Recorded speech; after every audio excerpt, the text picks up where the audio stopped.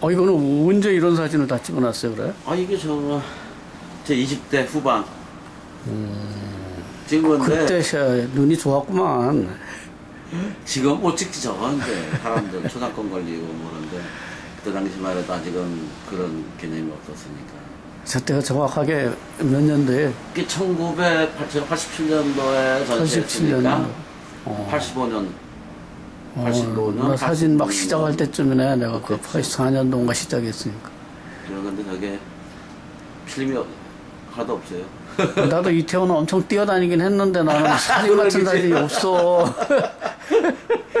태국은 이태원 저 우리 전후 세대는 이태원 문화를 아니까 음, 그때 뭐 놀기 바빴지 사진 찍을 생각은 전혀 안 했다고 하길래 아, 나도 나이트 클럽 우라지게야 그때는 많이 갔었네. 알았죠. 그때 그때는 최고의 최고의 진짜 클락가였습니다. 아. 제일 최고일 때였어요.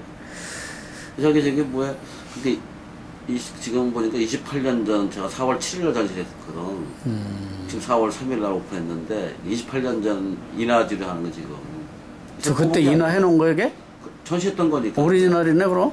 그럼 빈티지 프린트에 저기. 그렇지 않아도 나 물어보려고 그랬는데 이게 지금 디지털로 예. 아, 필름을 잊어먹어가지고 그때 하도 뭐 잘 보관한 작업실 몇 번 이전하다 보니까 잊어먹었어요. 그래서 그때 당시 이제 해- 해놨던 박스가 있어서 그대로.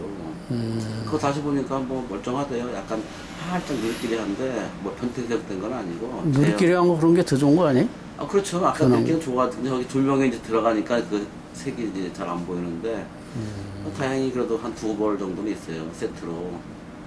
그러니까 그때 저, 뽑, 뽑아놓은 사진만 나머지는 뭐, 뭐 어차피 필름이 없으니까 이제 진짜 운이. 좋은 케이스네. 지금 남아있었다. 뭐저 아쉽지만 그래도 40석점이 그대로 있어가지고 그거 추려서 20점만 전시하는 거예요.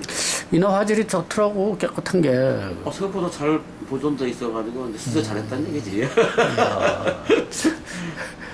사람들 다 재밌어해. 그 28년 전그 인화지냐고 이게. 어이, 자기 뭐, 독특하더라고, 아주. 어, 스캔 받아서 다시 출력한다. 나도 그 아, 생각부터. 했는데. 어, 아니에요 절대로. 그래서 되게 시선성 있는 거 아니겠습니까? 뒤통으로. 아니, 작품도 진짜로 이거. 난 김남진 선생한테 요즘 또 이상하게 다큐멘터리가 막 굉장히 떠더라고. 아, 그러니까 이게 이제 바이러스 쪽에 이제 약간 좀 소강 상태다 보니까 반대로 딱히 쪽이 이제 이렇게 올라오는 문화예술도 난 똑같이 봐요. 이게 한쪽이 쌤 한쪽 살짝 죽어 있는 거고 그래서 다시 또 올라오고 작용 반작용 하는 거지 뭐. 요즘 시대가 다큐멘터리 다시 부활한 것 같은 그런 느낌이야 지금. 근데 마침 또 이- 이런 사진이 나도 옛날 거 뒤져봐야겠는데 아뭐저 뛰어다니다 보니까 이거 저 우리 이가별 작가도 저기 뭐야 옛날 저 제주도 찍은 거 가지고 지금 전시를 하고 있지 않습니까? 아니 어떻게 공교롭게 그렇게 된 것뿐이지 뭐. 뭐. 복고주의도 아니고. 나도 그 시대에 그 네가티브 찍어놓은 게 어디 뒤지면 나오긴 나올 텐데 아 추려봐요. 보시던 것도 재밌고. 난 인화를 안 해놔가지고 아, 더 좋지 뭐 스캔 받아서 쫙 하면 뭐 금방 나오니까. 옛날 거 흑백하고 네가티브 필름 전용 스캐너로 스캔해 놓으면 화질이 되게 나쁘더라고 아주. 좀, 좀 신경 써야지. 요새는 뭐 Imacon 같은 거 쓰면 괜찮거든. 드럼 스캔으로 받아야 되나? 드럼, 어, 드럼 같은 건 내가 소개드릴게 그런데 싸게요 또돈 많이 들어가지고. 아 그리고 드럼 비싸니까 못하고 이제 저 우리 이제 좀 아름아름 안한데 있어. 근데 가셔야 돼. 비싸서. 그때 그 찍을 때 그 감정 같은 거 살아있나? 저거? 작품? 그때 당시는 뭐 밤에 찍은 거니까 괜히 그래도 괜히 아니 아니 밤에 찍었는데 진짜 깨끗하게 나왔다 저거 플래시 때잘 치잖아요 스트로브 다쓴 거야? 아, 어, 그100% 그러시지. 그때 뭐필 감동은 뭐, 깊게 400짜리지 뭐 있었어요. 맞아 400짜리 필름 가지고 다 저거는 광각이라 근접 거예요. 음. 그러니까 가까이 찍어야 돼. 보통 24mm 또 썼고, 많이 쓰면 28mm. 아까다 24mm 쓰니까, 뭐, 다가가지 않으면 광량이 떨어지니까 아무리 매치 45cm 써도 떨어져요. 그래서 저건 최대한 내가 그 사람들한테 위화감을 주지 않을 정도까지 음. 다가가서. 한 2년 반 취업을 하- 했으니까 좀 서로 이제 안면도 있고, 대한 경계심도 없고. 당시에는 그래도 또 카메라 위력이 사진작가의 위력이 세니까 아, 저 궁금하지? 이 사람 저 어디서 나왔을까? 어, 웬만하면 저 사람들 거부를 거의 못할 정도로 뭐 그 그때 야 이거 대박이다 뭐 이런 생각 했겠다 그래도 옛날에는 사실은 요새 카메라가 좀 적었으니까 좀 약간 좀 유해같이 그, 그런 개념은 아닌 것 같아요. 그러니까 약간은 좀 경계를 살짝 하면서도 뭐, 뭐가 뭐 있는 사람 같이 보이고 그런 거 있잖아요. 약간 그 사람 갖고 있는 그런 컴플렉스. 그런 게 적어도 가능했던 거 아닌가 싶기도 하고. 그래서 오래 또 댕기다 보니까 사람 눈에 익어지면 또 경계심이 풀어지고 그러니까 자연스럽게 찍는 거니까 저것도. 이 사진 잘 그 또 이 사진들하고 이렇게 그동안 그때 찍어놓은 것들 찾아내면 프로모션 잘하면 그 상당히 그 내 생각에는 그냥 대박도 나지 않을까 이런 생각도 했는데 작품이 뭐 더 진짜 진솔하고 느낌이 저- 나 같은 경우 하여 그 세대 살았으니까 더 그러겠지만 지금 보는 그런 시각들하고는 완전히 그 저, 저 같은 경우는 요새 다큐멘터리가 이제 많이들 하는 특히 이제 아마추어들이 이제 뭐 이렇게 뭐 스타트를 이제 아마 다큐 쪽에서 많이 하는 것 같아요. 왜냐하면 이제 정보가 없으니까 사진에 대한 세계가 뭐 다양한 그런 게 있는 걸 모르고 그냥 인터넷 뒤져가지고 누가 강의를 한다니까 뭐 하다 보니까 자기도 모르게 그렇게 가는 거예요. 자기가 뭐 알고 이, 이쪽 파트를 해야겠다 그런 명확한 그런 어떤 정보가 가는 게 아니거든요. 그러다 보니까 뭐 뭐, 딱히 쪽에 수업이 많이 이루어지다 보니까 그쪽에 많이 사람들이 나오는 것 같기도 하고.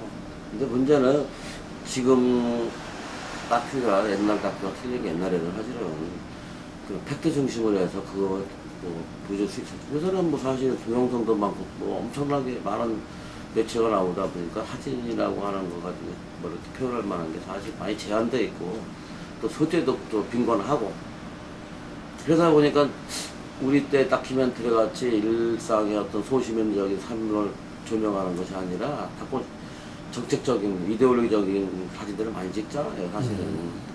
뭐 사대강이 어떻고 뭐 미양 풍전탑이 어떻고 뭐저 방정마을.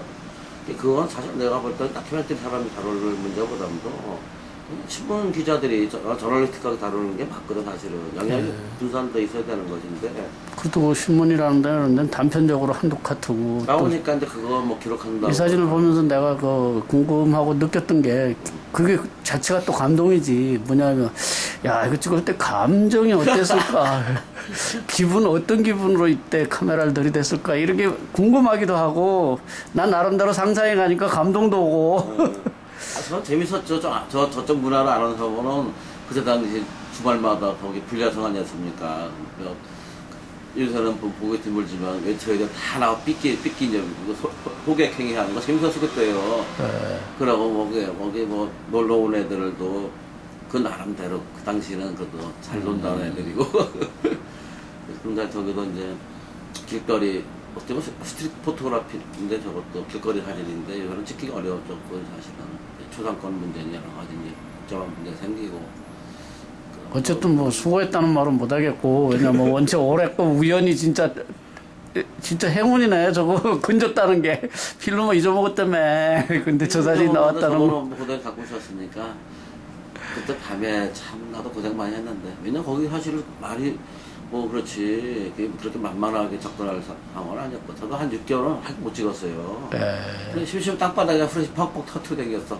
나에다 주목 좀 해달라고. 어, 뭐야? 그런 거 있잖아요. 그럼 웨이터 다가와. 어디 오셨습니까? 막 이렇게 물어보잖아요. 알 필요 없어요. 필름 없어도 사진만이라도 저렇게 남아있는 게 진짜 대박이고 아이고 축하드립니다 야. 보면은, 그러면 다행해, 사실은. 그러게 정말 다행이네 아, 그때 필름을 잘 보관한다 한 것이. 정말 아깝다고 필름 나머지 그 거- 뒤지면 거기에 또 다른 컷도 아, 많을 날 텐데 알죠. 약간 좀 야리꾸리한 것들도 많고. 그런 네. 건뭐 그때 미풍양속이 져야 될까봐. 그런 것도 아. 문제는 나는 좋아서 찍었지만은 거 찍힌 사람들, 그렇지, 일하는 그뭐 연예인이 그런 사람들은 자기 저기 누가 보면은 자기 그 시대에 못 다뤘던 그런 필름들이 정말 아까운 것들이 그래서 지금은 나 이제 한 30년 됐으니까 뭐 나이도 많이 먹었을 거고. 지금 내놔도 그 사람들이 들고 나올래나? 모르겠어. 가까이 나도 사실 올해 변해가지고 뭐 지금 거의 할머니들 뭐 중년 이상. 삶- 젊었을 때 조상을 얼마나 많이 할까. 그냥 넘어가서. 오히려 또 알아도 좋아하겠다. 야 이거 그때 나야 나잖아 뭐. 세월이 흘렀으니까. 예. 저런 사진 찍기가 참 굉장히 어려졌죠 참 제가 볼 때는 야 진짜 아깝다. 그 여기 사진으로 인화 못 해놓고 그때 겁나가지고 숨겨놓은 그런 그렇죠. 것들이 그런 것 진짜 좋은 건데. 몇한뭐한 열대 점만 더 첨가해서도 더 좋은 저건데 뭐 어떻게 없는 걸뭐 방법이 없지 아이고 아까워라. 좋은 자식